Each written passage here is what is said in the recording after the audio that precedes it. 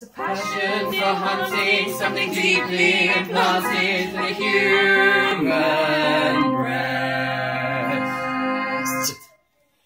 Even when it's something is but one wretched, breathless boy. As he pants with exhaustion, they chase him without